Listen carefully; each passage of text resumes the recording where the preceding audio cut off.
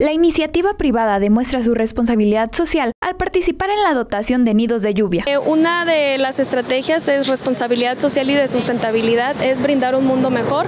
La verdad es que Heineken, eh, para Heineken es un gusto el estar apoyando a personas con vulnerabilidad hídrica este, en compañía del, del de la autoridad, ¿no? El programa de nidos de lluvia creado por el gobierno de Jalisco instalará en lo que resta del año 3.000 dispositivos de colección de agua nos ha dado desde el 21 a la fecha la suma de 8.950 mm, eh, sistemas ya colocados en varios municipios del estado, principalmente en el área metropolitana de Guadalajara.